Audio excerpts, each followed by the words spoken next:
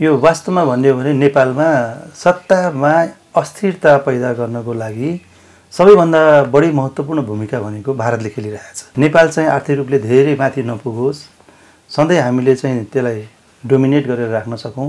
र यो अस्थिरता अस्थिरता अस्थिरता अस्थिरता सबैतिर देखाउँदा जस्तै नेपालको लागि मात्रै होइन पाकिस्तान बङ्गलादेशमा पनि अस्थिरता कायम भयो भने भोलि तिमीहरूको देशको काम छैन तिमीहरू चाहिँ बेकार छौ भन्ने सिद्ध गरेर उसले राजनीतिक रूपमा भौगोलिक रूपमा विभिन्न रूपमा चाहिँ एउटा लक्ष्य छ इन्डियाको।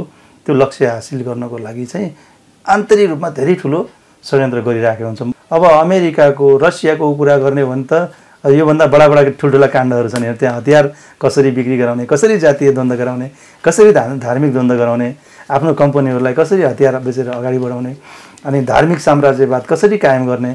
यो त फेरि अर्कै ठुलो इस्यु भइहाल्यो। त्योमा फस्न पुग्यो भने त झन् हामी झन् बढी फस्छौँ। अहिले चाहिँ के छ भन्दा सर्वोच्च अदालतको व्याख्याले त्यति सजिलै विकल्पका खोजीहरू नगरिकन चुनावमा जानु हुँदैन भनेर त अब केपी ओलीको सरकारलाई चाहिँ ढालेर अर्को गठन गरिदिने गरी जुन आदेश गर्यो त्यो घटनाबाटै हामीले हेर्न सक्छौँ। अहिले प्रचण्डले सिफारिस गर्नुभयो भने पनि भोलि त्यो लागु हुनसक्छ भन्ने कुराको ग्यारेन्टी छैन। भोलि अरू समीकरण बिचमा रातारात चेन्ज भएर बहुमत अर्कोतिर भइदियो भने फेरि त्यसलाई उल्टिने अथवा त्यो चाहिँ प्रक्रिया पुगेन। विकल्पहरूको खोजी नगरिकन यसरी मध्यावधिमा जानु हुँदैन भन्ने व्याख्या भएर आउन सक्छ यो चुनाव चाहिँ हुनुपर्छ र यो सरकार ढल्नुपर्छ भन्ने भित्रभित्र त्यो सोच र योजनाका साथ लागिरहेको चाहिँ देखिन्छ। नेपाललाई साँच्चै धनी बनाउने हो भने अरबमा अरू के छ? हेर्नु त त्यत्रो सुक्खा बन्जट एउटा तेल बेचेर उनीहरू धनी भएको छ। हामी कहाँ त्यो तेलभन्दा बढी पैसा दिने चिजहरू अनगिन्ती छ। अनगिन्ती छ। भुटानले जस्तै हामीले यहाँबाट ढुङ्गाको विरोध गऱ्यौँ हामीले एकजुट हुन सकेनौँ। आज भुटानमै इन्डियाले लगेर ट्रेन लगेर त्यहाँको ढुङ्गा बेचेर त्यहाँ पाहाडै पाहाड भएको देश धान खेती गर्न गाह्रो हुने ठाउँ आज धान खेती जमिन हुने जमिन बनाउँदैछ उसले। त्यस कारण के छ भने अब प्रकृतिको दोहन गर्नुहुन्न भन्ने एउटा मान्यता छ। त्यो नहुने किसिमले कसरी हुन्छ पर्यावरणमा असर नपर्ने किसिमले नेपालका खनिजहरू उत्पादन गरेर जबसम्म हामीले बेच्ने योजना ल्याउँदैनौँ हामी धनी बन्न सक्दैनौँ। अहिलेसम्म जति पनि अर्थमन्त्रीहरूले आएर बजेट बनाउनु भएको छ साँच्चै भन्यो भने गरिबका झुपडीमा का समस्यालाई सुनेर वास्तविक नेपालीहरूको समस्या के छ त्यसलाई बुझेर बजेट बनाएको मैले चाहिँ देखाएको छैन। पहिले कमिसन माग गर्ने चलन आइसक्यो भन्ने कुरा सुनियो यहाँ। बजेट पार दिए बापत भोलि मलाई चाहिँ यति चाहिन्छ है। भन्ने खालको कुराहरू पनि हुँदो रहेछ। म जनता कति मारमा छन् ऋण लिन जाँदा पनि कति कमिसन खुवाउनुपर्छ ऋण नलिई केही गर्न सक्ने अवस्था छैन। अब ऋण लियो लिएको ब्याज सुरुमा एउटा हुन्छ। त्यो पक्षसँग समन्वय नगरिकन ब्याज बिचमा बढाइदिन्छ मनोमान बढाउनु पाएन नि। ऋण लिँदाखेरि जुन ब्याज तोकिएको थियो त्यही ब्याज कायम गर्नुपर्छ पछिसम्म। जनमुखी चाहिँ बजेटहरू अथवा कार्यक्रमहरू चाहिँ ल्याउने कुरामा चाहिँ ल्याएको छ भनेर ठोकुवाको साथ भन्न सक्ने अवस्था छैन। राजेन्द्र शर्मा सरलाई हाम्रो च्यानलहरूमा स्वागत छ। धन्यवाद। अब अहिले सरकार सय दिन पनि नपुग्दै गर्दा यसको हनिमुन पिरियड चल्दै गर्दाखेरि नै मन्त्रीमण्डल फेरबदल हुने कुराहरू आइरहेको छ होइन? यसले यो सत्ता गठबन्धनको विषयमा के सङ्केत गर्छ? यो वास्तवमा भन्यो भने नेपालमा सत्तामा अस्थिरता पैदा गर्नको लागि सबैभन्दा बढी महत्त्वपूर्ण भूमिका भनेको भारतले खेलिरहेको छ नेपालका राजनीतिक दलहरू नमिलुन्। नेपाल चाहिँ आर्थिक रूपले धेरै माथि नपुगोस्। सधैँ हामीले चाहिँ त्यसलाई डोमिनेट गरेर राख्न सकौँ र यो अस्थिरता अस्थिरता अस्थिरता अस्थिरता सबैतिर देखाउँदा जस्तै नेपालको लागि मात्रै होइन पाकिस्तान बङ्गलादेशमा पनि अस्थिरता कायम भयो भने भोलि तिमीहरूको देशको काम छैन तिमीहरू चाहिँ बेकार छौ भन्ने सिद्ध गरेर उसले राजनीतिक रूपमा भौगोलिक रूपमा विभिन्न रूपमा चाहिँ एउटा लक्ष्य छ इन्डियाको। त्यो लक्ष्य हासिल गर्नको लागि चाहिँ आन्तरिक रूपमा धेरै ठुलो षड्यन्त्र गरिरहेको हुन्छ एउटा चाहिँ त्यसैको परिणाम हो। अर्को भनेको चाहिँ यो के छ भने स्वार्थ। देशको लागि जनताको लागि एकीकरण गर्ने अथवा समीकरण गर्ने भन्दा पनि आफ्नो स्वार्थ केही कुरा पुरा हुन सकेन भने मिल्ने अनि स्वार्थ अझ बढी पुरा गर्नलाई अरूलाई पन्छाउनु पर्ने अवस्था आयो भने लात मारिदिने। यो युज एन्ड थ्रो यो टाइपको खेल चाहिँ बढी भइरहेको छ बढी गराइराखेको छ र खास गरिकन हुनुपर्ने के थियो भने नेपालको दीर्घकालीन रणनीति जो बन्छ त्यो रणनीतिहरू ठिक छ कि छैन त्यसलाई कसरी उपलब्धिमा पुर्याउने र त्यो विषयमा र अन्तर्राष्ट्रिय विषयमा कुनै पनि मतभेद सबै दलहरू एकजुट भएर देश विकास र जनताको उन्नति प्रगतिका लागि राम्रा एजेन्डामा एकजुट भएर एकले अर्कोलाई साथ दिने राम्रो काममा कम्पिटिसन गरेर देखाउने त्यो प्रचलन चाहिँ हुनुपर्ने हो। त्यसको ठिक उल्टो कसरी हुन्छ अरूलाई नराम्रो देखाउने अनि अरूलाई नराम्रो देखाएपछि त मलाई राम्रो देख्छ होला भन्ने सोच्ने अनि यो प्रवृत्ति र यसमा दुइटै कुरा छ। एउटा चाहिँ राजनीतिक आर्थिक स्वार्थका कुराहरू पनि छन् पहुँचका कुराहरू छन् नियुक्तिका कुराहरू छन्। भाग भागबन्डाका कुराहरू पनि छन्। कतिपय कस्तो छन् भने अन्तर्राष्ट्रिय रूपमा नथाहा पाउने किसिमले घुसपैठ गरेर लडाइदिने खेलहरू हुन्छन्। जस्तै पहिलोपटक प्रधानमन्त्री भएर यो चाहिँ पुष्पकन्त दाहाल भारत भ्रमणमा जाँदा छेउमा बाबुराम भट्टराईलाई राखिएको थियो र त्यहाँ अन्तर्वार्ता लिने क्रममा त्यति बेला नै नेपालको तराई केन्द्रित राजनीति गर्ने एकजना नेताले जो चाहिँ एउटा सामान्य व्यापारीको रूपमा नेपाल छिरेका थिए उनको नागरिकता छानबिन भयो भने बदर हुने अवस्थामा छ भन्ने हामीले सुन्छौँ किनभने पछि छिरेको हो नेपालमा त्यो हामी सबैलाई थाहा छ। र तिनले के भन्थे भने राजनजी यो त्यहाँ इन्भाइट गरेको के को लागि भन्दा यो फुटाउनुको लागि हो। हेर्नु होला अब केही समयमा प्रचण्ड र बाबुराम फुट्छन्। मलाई अचम्म लाग्यो। त्यो मान्छे भारतका नेताहरूसँग धेरै घनिष्ठ सम्बन्ध रहेछ। ती हुन् प्रमोद जालान नेपालगञ्जका व्यापारी एकजना अहिले चाहिँ अब राजनीतिमा पनि बिस्तारै आएका। म नामै भन्न सक्छु। उहाँले भनेको कुरा हो। हेर्नु होला राजी मैले बाबुराम भट्टराईको अनुहार हेरिसकेँ। अब केही दिनमा उहाँहरू फुट्नुहुन्छ। नभन्दै बिस्तारै बिस्तारै हामीले त्यति यो के हो त भन्दाखेरि हाम्रा नेताहरूलाई फुटाउनको लागि पनि उनीहरूले यस्तो तरिकाले षड्यन्त्र गरेको हुन्छ। यस्ता यस्ता कुराहरू कानमा पारिन्छन्। यो कुरालाई नेताहरूले पहिला चाहिँ आफूले लिनुभन्दा अगाडि यो कहाँबाट आयो किन आयो सत्य हो कि होइन भनेर बुझेर कसको के स्वार्थले आयो भन्नेतिर केलाउने गरिदिएको भए धेरै राम्रो हुन्थ्यो। यो हरेक पार्टीमा यो लागु हुन्छ। र यहाँनिर के छ भने नेताहरू लडाउनको लागि जुन एकदम गोप्य रूपमा खेलहरू भएका हुन्छन् त्यो सुन्न त्यो राम्रोसँग नबुझिकन एकले अर्कोलाई गाली गर्न सुरु गरिदिने एक अर्कोसँग लड्न सुरु गरिदिने पार्टीको समीकरण चेन्ज गर्न सुरु गरिदिने। र समीकरण वास्तवमा के का लागि हुनुपर्छ भने देश र उन्नतिको पक्षमा केही बाधक भयो कोही केही राम्रो एजेन्डा ल्याउँदाखेरि त्यसलाई सपोर्ट गरेन भने राम्रो एजेन्डालाई सपोर्ट गर्नेसँग मिलेर राम्रो काम गर्नको लागि हुनुपर्ने हो। तर यहाँ के भइदियो भन्दाखेरि कसलाई कहाँबाट कसरी हुन्छ जोगाउने नराम्रो काम गरेको छ भने उम्क्याउने अनि आर्थिक स्वार्थहरू नियुक्तिका कुराहरू यस्तो झिना मेसिना कुराहरूलाई लिएर देश र जनताको हितमा नसोच्दाखेरि यो परिस्थिति आइरहेको छ र खास गरिकन यसमा दुईवटा पक्ष छ एउटा सकारात्मक एउटा नकारात्मक। एउटा चाहिँ के गर्छु भन्दा भन्न थाल्यो राम्रो गर्न थाल्यो भने खुट्टा तानिहाल्ने। प्रवृत्ति छ। त्यसका लागि पनि समीकरण चेन्ज गरिदिने। अब यो त हाइलाइटमा जाने भयो राम्रो काम गर्ने भयो। अर्को चाहिँ भनेको आफ्नो स्वार्थ पुरा भएन भने स्वार्थ पुरा गर्नको लागि समीकरण बदलिदिने। यो चाहिँ दुईवटा प्रवृत्तिमाथि अब हाम्रा नेताहरूले खास गरिकन बुझ्नुपर्ने कुरा छ। यदि यो भएन भने अस्थिरता भन्ने कुरा चाहिँ उयो भारतले आफूमा कम अस्थिरता कायम गराउन उनीहरू चाहिँ वैदेशिक नीतिको मामलामा हेर्नुहोस् विरोध गर्दैनन्। जति लडे पनि एकजुट हुन्छन्। तर के छ? पाकिस्तानको हालत देखेकै छौँ हामीले बङ्गलादेशको हालत देखेकै छौँ। हामीहरूको त छँदैछ जहाँ भारतले आन्तरिक रूपमा हात हालेको छ थाहा नपाउने किसिमले आँखा आफ्ना जराहरू गाडेको छ विभिन्न क्षेत्रका मान्छेलाई किनेको छ हो त्यो ठाउँमा चाहिँ यस्तो छ। जस्तै गरी यो चाहिँ यो त हाम्रो चाहिँ साउथ एसियाको सानो कुराहरू भयो।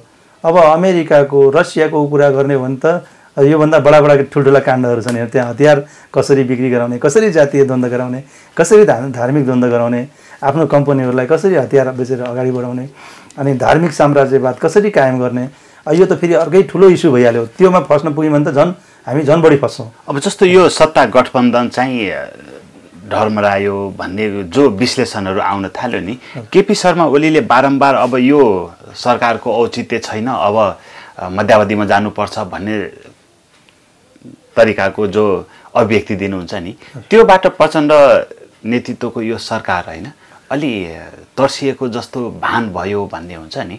यो उहाँ के केपी शर्मा ओलीले यो गठबन्धन चाहिँ भत्काउन खोजेको जस्तो लाग्छ लाग्दैन? अब यसमा हेर्नु सबै राजनीतिक दलले उपयुक्त समयको खोजी गरिरहेको हुन्छ चुनावमा जानको लागि।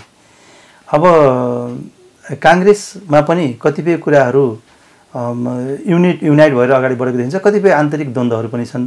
त्यस्तै गरी माओवादीमा होइन केन्द्रमा पनि देखिन्छ। त्यसै गरी अरू पार्टीहरूमा पनि देखिन्छ।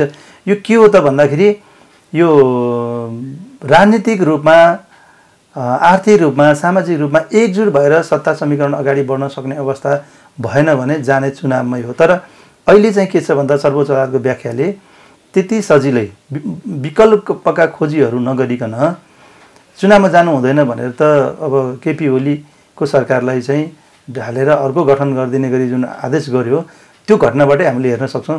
अहिले प्रचण्डले सिफारिस गर्नुभयो भने पनि भोलि त्यो लागु हुनसक्छ भन्ने कुराको ग्यारेन्टी छैन।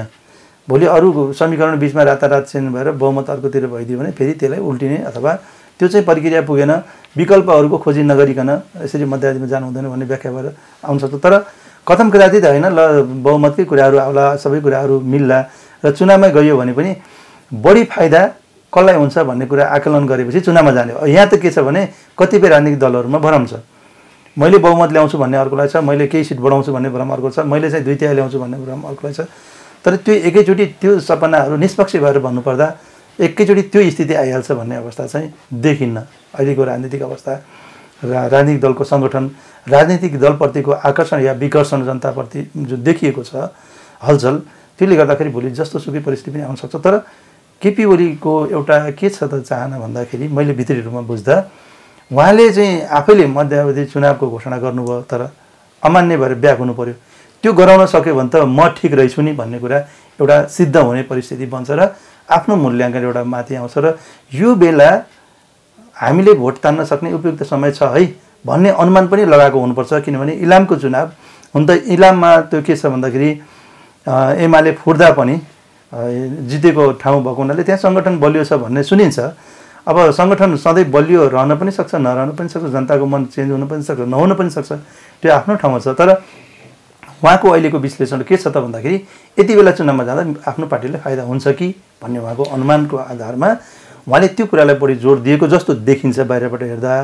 तर भित्री रूपमा हेर्ने हो भने हाम्रा नेताहरूलाई मिल्न नदिने जुन तत्त्व छ त्यो तत्त्वले पनि धेरै ठुलो खेल खेलिरहेछ र यो बेला चुनाव गरायो भने अलिकति यी बहुदलवादी जो बहुदलीय व्यवस्था ल्याउनका लागि लडेका थिए तिनीप्रति वितृष्णा त्यस्ता नेताहरूप्रति वितृष्णा अलिकति बढेको छ। त्यसको फाइदा अरूले लिन सक्छ। तर अरूले आवाज उठायो भने चुनावमा चाहिँ मान्छे चाहिँ दलहरूले सहमति नगरिदिन सक्छन्। त्यस कारण दलकै मुखबाट त्यो परिस्थिति सिर्जना गरेर हामीले फाइदा लिन सकिन्छ कि भन्ने अरू तत्त्व पनि अरू विचारधाराका मान्छेहरू पनि जस्तै होइन यो चुनाव चाहिँ हुनुपर्छ र यो सरकार ढल्नुपर्छ भन्ने भित्रभित्र त्यो सोच र योजनाका साथ लागिरहेको चाहिँ देखिन्छ। अब जस्तो सरकारको सय दिन होइन कति सफल कति अब असफल तपाईँको दृष्टिकोणमा?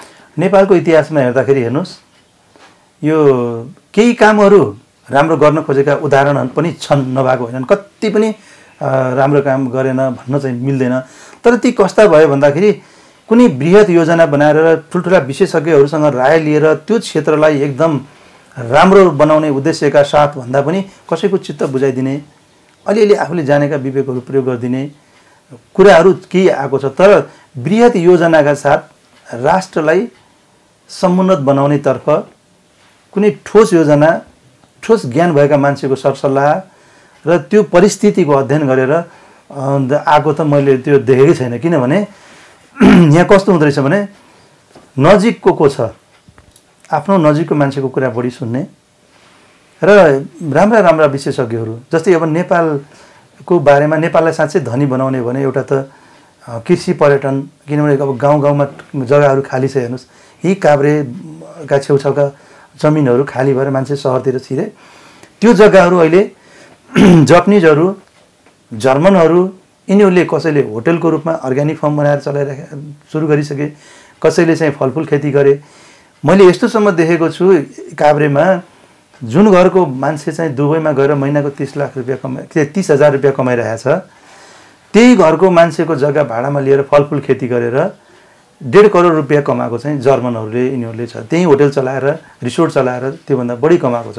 त्यस कारण अब कस्तो देखियो भने हामी सहरमुखी हुने हाम्रा युवाहरू पलायन हुने हाम्रा पाहाडका जग्गाहरू खाली हुने त्यो ठाउँमा गएर फलफुल खेली विदेशीहरूले गरेर कमाएर बाहिर पठाउने यो एउटा देखिरहेछ। त्यस त्यस कारण मैले भनेको चाहिँ कृषि पर्यटनलाई हामीले जोड दियौँ एउटा भने। र अर्को कुरा उत्खनन गर्न पर्यो। नेपालमा यति धेरै तामा खानी छ। जापानका एकजना चाहिँ वैज्ञानिकले लेखेको मैले रिपोर्ट पढेँ।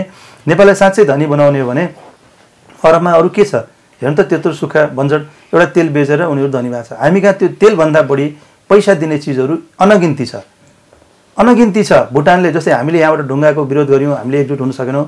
आज भुटानमै इन्डियाले लगेर ट्रेन लगेर त्यहाँको ढुङ्गा बेचेर त्यहाँ पाहाडै पाहाड भएको देश धान खेती गर्न गाह्रो हुने ठाउँ आज धान खेती जमिन हुने जमिन बनाउँदैछ उसले। त्यस कारण के छ भने अब प्रकृतिको दोहन गर्न हुन्न भन्ने एउटा मान्यता छ। त्यो नहुने किसिमले कसरी हुन्छ पर्यावरणमा असर नपर्ने किसिमले नेपालका खनिजहरू उत्पादन गरेर जबसम्म हामीले बेच्ने योजना ल्याउँदैनौँ हामी धनी बन्न सक्दैनौँ। त्यस कारण चाहिँ त्योतिर नेपाललाई धनी बनाउनेतिर अनि त्यसपछि गएर त्यस्तै किसिमका चाहिँ प्लानहरू गर्नेतिर चाहिँ ध्यान कम गयो। बजेटहरू त्योतिर चाहिँ छुट्याउने कुरामा कम गयो। जुन चिजले नेपाल र नेपालीलाई सम्पन्न बनाउन सक्छ। तर त्यो बाहेक अरू जस्तै अरूलाई फाइदा हुने कुरामा जस्तै बाटो बनाउँदा पनि यो बाहिरको बाटोको बेलामा सुनिन्थ्यो लामो लामो बाटो बनाऊ बिजुली उत्पादन केन्द्रहरू नबनाऊ भनेर इन्डियाले दबाब दिन्थ्यो। जस्तो सिक्टा सिँचाइको लागि यो कति राम्रो काम भएको छ? अहिले धेरै अब बबई सिँचाइले अहिले नहर बनेपछि होइन उत्पादन हुन बढ्यो। त्यहाँको किसानहरू धनी हुने मौका पायो। अब बाटोहरू बनाउँदा लामो बनाऊ छोटो नबनाऊ। अनि बो यो चाहिँ नहरका योजनाहरू चाहिँ नगर भनेर इन्डियाले चाहिँ दबाब दिने नाकाबन्दी दिने गरिदिने दुनियाँ किसिमको रड नदिने फलाम नदिने तर चाइनाले के गरिदियो त उसले आफ्नो देशबाट ल्याएर पनि भटाभट अहिले त बाटो बनाउनु सुरु गरिरहेछ आफै उत्पादन गरिरहेछ उसले दिन्न भने थाहा पाएर। यो के त भन्दाखेरि लामो बाटो भयो भने धेरै गाडी चल्छ पेट्रोल बढी खर्च हुन्छ गाडी बिग्रिन्छन् आउने त इन्डियाकै गाडी कि त बङ्गाली जस्तो हुनु पऱ्यो बङ्गलादेशी जस्तो। इन्डियाको सामानै युज नगरिदिने अरू देशको गर्ने त्यसपछि त इन्डिया हेरे हेरे हुन्छ। त्यो इन्डियामा गएर त्यो बङ्गलादेशमा गएर हेऱ्यो भने हेर्नुहोस् अहिले पनि इन्डियन चार पाङ्ग्रेहरू बहुतै कम देख्नै पाइने धेरै जसो उनीहरूले अरू देशको युज गरिरहेको छ। किनभने इन्डियाको आफ्नै स्वार्थ हुन्छ उसले त्यस्तै सामान दिइदिन्छ अनि त्यस्तै गरी शोषण गर्ने बाटोहरू खोज्छ। त्यस कारण सहज रूपमा कम खर्चमा छिटो पुग्ने ठाउँका बाटोहरू बनाउँदाखेरि इन्डियाले चाहिँ अवरोध खडाहरू गर्ने विभिन्न माध्यमबाट। अनि लामो बाटोहरू उसलाई फाइदा हुने चिजहरू होइन गाडीका सामानहरू बेच्न पाइन्छ। भनेर यस्ता यस्ता सल्लाहहरू दिने त्यस्ता कुराहरू चाहिँ सुनिदिनु भएन। यहाँ चाहिँ बिग्रिएको त्यो छ। जति राम्रो गर्न खोज्यो भने कसरी पनि खुट्टा तान्ने त छँदैछ। उसलाई अगाडि बढ्न नदिने। अब यो यो चाहिँ अब एकदमै हिरो हुने भयो। अर्कोचोटि त बेसरी भोट ल्याएर जित्छ। अब के गर्ने भन्ने पनि एउटा चाहिँ राम्रो काम गर्नेलाई रोक्ने राम्रो काम गर्ने प्रयास पनि नभएको हुनुहुन्छ तर टोटल्ली हेर्ने भने सयमा नब्बे प्रतिशत अहिलेसम्म जति पनि अर्थमन्त्रीहरूले आएर बजेट बनाउनु भएको छ साँच्चै भन्यो भने गरिबका झुपडीमा का समस्यालाई सुनेर वास्तविक नेपालीहरूको समस्या के छ त्यसलाई बुझेर बजेट बनाएको मैले चाहिँ देखाएको छैन। यदि यस्तो हुन्थ्यो भने इन्डियामा चाहिँ एक लाख पर्ने गाडी नेपालमा छ लाख इन्डियामा पाँच लाख पर्ने गाडी नेपालमा पच्चिस लाख। किन हुन्छ? यस्तो शोषण संसारमा कहीँ पनि छैन। यदि बजेट बनाउनेले होइन यो कुराहरूलाई ध्यान दियो इन्डियामा उत्पादन भएको गाडी भुटानीहरूले इन्डियनले भन्दा सस्तोमा किन्छ किन ट्याक्स त्यहाँ चाहिँ छुट गरिदिएको छ होइन कति बुद्धि लगाएको छन्? हाम्रोभन्दा सानो देश भन्न मिल्दैन। बुद्धिमा ठुलो छन् हामीभन्दा उनीहरू चाहिँ अब हेर्नुहोस् तिन दिने पासभन्दा पास नदिकन कुनै इन्डियनलाई इन्डियामा छिर्न दिँदैन। त्यही भएर त्यहाँको बजारहरू कब्जा गर्न सकेका छैन इन्डियाले। हामी बाहिर भन्दा जे पनि भनिदिन्छौँ तर राष्ट्रको हितको लागि हामीले भुटानीहरूबाट पनि सिक्नुपर्छ। कतिपय चिज हामीसँग कुरा नमिल्ला मिलेको छैन होइन? कतिपय कुराहरू नेपालीहरूले भाषीहरूले त्यहाँ दुःख भयो कुरामा हामीलाई पनि दुःख लाग्छ। त्यो कुराहरू मिलाउने कुरामा सरकारले पनि पहल गर्नु पर्थ्यो गर्नुपर्छ। त्यहाँ पनि इन्डियन घुसपेट भएको हुनाले हामी लडिरहेछौँ हामीलाई लडाइरहेको छ। त्यो हामीले थाहा भएकै कुरा हो नत्र भने ल्याएर झापा अब यस्तो कुराहरू चाहिँ बजेट या बनाउँदा या कुनै कार्यक्रम गर्दा यस्तो कुरालाई विशेषज्ञको राय लिएर र देशलाई समत बनाउने ढङ्गले चाहिँ भएको छैन। कहाँबाट आफ्नो मान्छेलाई पैसा बजेट पारिदिने? अहिले त यतिसम्म सुनिन्छ हेर्नुहोस्। एकजना कङ्ग्रेसकै नेत्री हुनुहुन्छ सुकुम्बासी आयोगमा पनि बस्नुभयो। एकदम फ्रेङ्कली उहाँले कहिलेकाहीँ सही कुराहरू गरिदिनुहुन्छ कि हामीसँग। किन निष्पक्ष कुरा गर्ने क्रममा त राम्रा नराम्रो कुरा के भने हाम्रै नेता राम्रो हुन् सुध्रिउन् भन्ने चाहनाले बोलिन्छ नि त कतिपय कुराहरू। यहाँ कस्तोसम्म देख्यो भने बजेट विनियोजन गर्दा पनि पहिले कमिसन माग गर्ने चलन आइसक्यो भन्ने कुरा सुनियो यहाँ। बजेट पारिदिए बापत भोलि मलाई चाहिँ यति चाहिन्छ है। भन्ने खालको कुराहरू पनि हुँदो रहेछ। म त बडा अचम्म लाग्यो। हामी त देश र समाज परिवर्तन गर काङ्ग्रेसका सबै मान्छे खराब छैनन् नि एमालेका पनि सबै खराब छैनन् माओवादीका पनि खराब छैनन्। कोही कोही त देश र जनताको पक्षमा केही राम्रो काम गर्नुपर्छ है भनेर लाग्ने मान्छेहरू पनि त छ नि। हो त्यस्ता मान्छेको कुराहरूको सुनाइ नभएको कारणले गर्दा उहाँलाई त चित्त दुख्छ नि त। बजेट राम्रो ठाउँमा एउटा पार्नै पर्ने पुल बनाउनै पर्ने बिचरा विद्यार्थीहरू लडिरहेछ बगिरहेछ त्यस्तो ठाउँमा पारौँ भन्दाखेरि हामीलाई चाहिँ कति दिनुहुन्छ भनेर सोध्न थाल्यो भने कस्तो चित्त दुख्छ होला? हो यस्ता कुराहरूमा चाहिँ अब जानु भएन हाम्रा राजनेताहरूले एकदम लगाम लगाएर गर्न सक्यो भने राम्रो नत्र भने यस्तै हो हेर्नुहोस् प्रचण्डको नेतृत्व कस्तो छ? अब यस्तो छ हाम्रो नेपालमा गर्न खोज्ने गर्ने चाहना भएका मा नेताहरू आउनुहुन्छ। केही न केही भावना होइन मेरो पालामा एक दुईवटा राम्रो काम गर्न पाएँ मेरो नाम रहन्थ्यो भन्ने जसलाई पनि हुन्छ जुनसुकै नेतालाई पनि हुन्छ। तर भइदिन्छ कस्तो भने त्यो वरिपरिको चक्रव्यूह यस्ता हुन्छन् जो चाहिँ यति दबावहरू सिर्जना हुन्छन् जो चाहिँ सबैका आफ्ना आफ्ना स्वार्थ हुन्छ। जसमध्ये नाताभित्रका मान्छे पनि पर्न सक्छन् नाताभन्दा बाहिरका मान्छे हुन सक्छन् नजिकको साथीभाइको सम्बन्ध भएका मान्छेहरू हुन्छन्। उनीहरूको स्वार्थ पुरा गर्न नसक्दा अथवा पुरा गर्दा गर्दा पनि समस्या छ नगर्दा पनि समस्या छ हेर्नुहोस्। त्यस कारण चाहिँ सही ढङ्गले काम गर्ने वातावरण चाहिँ धेरै नेताहरूले पाएको मैले देख्दैन। त्यही भएर चाहिँ केही गर्न खोज्यो सरकार ढालिदिइहाल्ने। जस्तै मनमोहनको पालामा अहिलेसम्मको हेर्ने भने सबैभन्दा जनमुखी कार्यक्रमहरू साँच्चै भन्यो भने जनमुखी कार्यक्रमहरू त्यति बेला नआएको होइन। तर के भइदियो त भन्दा अब यो धेरै अगाडि बढ्ने भयो भने ढ्याङडुङ कसरी हुन्छ बिरामीलाई पनि होइन हस्पिटलबाटै पनि अस्पताल ल्याएर फालियो। त्यसै गरी प्रचण्डको कुराहरू पनि कतिपय राम्रो गर्न खोजेको पनि देखिन्छ उदाहरणहरू। तर कतिपय चाहिँ उहाँलाई युज गरेर उहाँलाई चाहिँ दुरुपयोग गरेर उहाँलाई असफल बनाउने प्रयासमा कतिपय उहाँकै निकट मान्छेहरू पनि लागिरहेको देखिन्छ। त्यो त्यो चाहिँ व्यवहारमा त्यस्तो देखिरहेको छ। एक एउ- एउटा वाक्यमा भन्नुपर्दा यो सरकार नि होइन सफल कि असफल? यो सरकार साँच्चै भन्यो भने त अब नेपालको बृहत्तर हितका लागि दीर्घकालीन रणनीति सहितको योजना बनाएर अगाडि बढ्ने सन्दर्भलाई हेर्ने हो भने असफल। तर तत्कालीन केही कुराहरू सुधार गरेर जाने कुराहरूमा अलिकति फरक केही सकारात्मक सन्देश दिने केही उदाहरणहरू पनि छन् जस्तै सांसदबाट जनताले केही आश गरेको हुन्छ। त्यो बेला चाहिँ अब सांसदलाई बजेट दियो भने बाँडियो यो राम्रो भएन भन्ने पनि आवाज उठ्थ्यो। तर कहिलेकाहीँ के हुन्छ सांसदहरू भनेको जनताको प्रतिनिधि भएको हुनाले उसले गाउँघरमा भोट माग्न पुग्ने अनि त्यहाँको दुःख देखेको हुन्छ।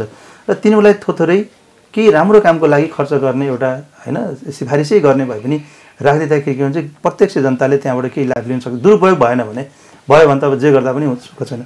त्यो कुराको हकमा चाहिँ अलिकति अहिले यो अहिले पछिल्लोचोटि अब यो योभन्दा अगाडिका अर्थमन्त्रीहरूले पनि गर्न नसकेको विपक्षी पार्टीहरूसँग पनि सल्लाह लिएर र तपाईँहरूको केही योजनाहरू छन् भने भन्नुहोस् भनेर गरिदिएका कुराहरू पनि छन्। अनि त्यसपछि गएर चाहिँ कतिपय जालो जुन तोड्ने कुराहरूमा होइन शोषण आर्थिक शोषणका कुराहरू प्रक्रियागत कुराहरू लामा प्रक्रियागत कुराहरूमा समस्याहरू थिए ती कुराहरू तोड्ने कुरामा केही प्रयास गरेको देखिन्छ बजेटले। तर दीर्घकालीन रूपमा असर पार्ने कुरामा चाहिँ परम्परागतै तरिकाले गएको जस्तो बढी महसुस हुन्छ बजेट। किनभने यसमा यता अलिकति आफूलाई चाहिँ क्रान्तिकारी भन्ने भने बजेट पनि क्रान्तिकारी हुनुपर्छ भन्छु म। जनतालाई टक्क महसुस गराउने जस्तै उदाहरणको रूपमा गरिबहरूका लागि चाहिँ रासन कार्डको व्यवस्था गरिब अथवा विपन्न परिवार भनौँ गरिब त भन्न मिल्दैन। विपन्न परिवारको लागि चाहिँ रासन कार्ड तर्फ त्यसपछि गरी सुकुम्बासी ए, समस्यालाई ठोस ढङ्गले सम्बोधन गर्नको लागि सुकुम्बासी पहिचान गर्ने तरिका जुन विदेशबाट भारतबाट अथवा विभिन्न ठाउँबाट आएर यहाँ सजिलै नागरिकता लिइरहेका छन् त्यो नागरिकताहरू छानबिन गर्न लागि चाहिँ विशेष एउटा छानबिन समिति अथवा सूचकहरूको व्यवस्था त्यसै गरी करप्सन रोक्नको लागि चाहिँ अब परम्परागत संयन्त्रले काम गर्न सक्दैन। होइन त्यो कुरालाई चाहिँ परिमार्जन गर्ने गरी त्यो करप्सन रोक्नको लागि चाहिँ त्यहाँ पनि सूचकहरूको व्यवस्था। मैले भन्छु सूचक निरीक्षक यो नामबाट करप्सन रोक्ने एउटा यति ठुलो संयन्त्र बनाउन सकिन्छ जसमा त्यो क्षेत्रमा अनुभवी मान्छेलाई अधिकार दिने जहाँको चाहिँ च्याप्प समातेर मुजुल्का बनाएर झ्याम्म आयोगमा बुझाउन मिल्ने यस्तो खालको सूचकहरू उहाँहरूलाई थाहा छ नि त करप्सनले गर्दा देश कस कति पछाडि परेको छ भन्ने कुराहरू। जनता कति मारमा छन् ऋण लिन जाँदा पनि कति कमिसन खुवाउनुपर्छ ऋण नलिई केही गर्न सक्ने अवस्था छैन। अब ऋण लियो लिएको ब्याज सुरुमा एउटा हुन्छ त्यो पक्षसँग समन्वय नगरिकन ब्याज बिचमा बढाइदिन्छ मनोमान डेङ्गल बढाउनु पाएन नि? ऋण लिँदाखेरि जुन ब्याज तोकिएको थियो त्यही ब्याज कायम गर्नुपर्छ पछिसम्म। बिचमा बढाइदिँदा त उसलाई धोका भयो नि त। हो यस्तो कुराहरू जनताका मार्का मर्काका कुराहरू जस्तै अब भुटानमा हेर्नुहोस् है यो पटक पटक किन दिउनु भुटानले एक घन्टा यसो टुरिस्टहरू बोकेर हिँड्छन् मजाले उनीहरूलाई महिनाभरि खान पुग्छ हेर्नुहोस् पैसाले। कति आनन्दको लाइफ छ हेर्नुहोस्। पचास रुपियाँ तिर्यो त्यहाँको त्यहाँको चाहिँ ऊ अनि त्यो तिरेपछि एक महिनासम्म होइन बिजुली खाद्यान्नमा युरोपीय मापदण्ड अप्नाएको छ। सस्तो पनि छ शोषण छैन खाद्यान्नदेखि हरेक कुराहरूमा। त्यसै गरी यहाँका गाडी घोडामा पनि यहाँका थोत्रा गाडी चढ्न किन बाध्य छन् नेपालीहरू? नयाँ किन्यो कति गुणा महँगो छ? अब पुरानो चढ्न पनि गाह्रो छ। जति पुरानो हुँदै गयो ट्याक्स त्यसको बढी बढी छ हेर्नुहोस्। पुरानो कसले चढ्छ? जोसँग धेरै पैसा छैन तर बाध्य छ। कहीँ अफिस जाँदा कागज भिज्न सक्छ। कुनै एउटा टिचरले चाहिँ उत्तर पुस्तिका बोकेर हिँड्नु हुनसक्छ। उसको नबिजोस् बाइकमा हिँड्दाखेरि चाहिँ होइन उसका हिलो हिलो भएका पीडाहरू क्लासमा जाँदा पढाउन सक्ने अवस्था हुँदैन। त्योबाट बच्नलाई बिचरा एउटा सस्तो सस्तो छोत्रो गाडी किन्छ। अब त्यो गाडीलाई राम्रो बनाउँछ। तर भइदिन्छ के भन्दाखेरि त्यो गाडीको ट्याक्स झन् नयाँको भन्दा बढी छ धनीहरूले चढ्ने गाडीको भन्दा बढी ट्याक्स छ। भनेपछि यो जनत जनमुखी चाहिँ बजेटहरू अथवा कार्यक्रमहरू चाहिँ ल्याउने कुरामा चाहिँ ल्याएको छ भनेर ठोकुवाको साथ भन्न सक्ने अवस्था छैन। हस् तपाईँको महत्त्वपूर्ण समय र विचार लागि सरलाई धेरै धेरै धन्यवाद। थ्याङ्क यू हजुरलाई पनि धन्यवाद. समाजको आवाज डट कम